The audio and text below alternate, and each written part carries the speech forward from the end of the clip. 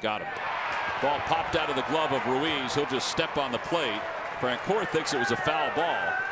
It was not so. The Braves leave him loaded in the top of the seventh inning. Here comes the diamond drive. as we stretch here at Citizens Bank Park. The Phillies trail at 2 0. Andres Blanco, Maikel Franco, and Ryan Howard when we come back.